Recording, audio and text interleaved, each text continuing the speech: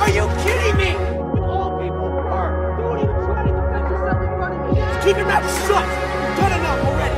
Look at me, not her.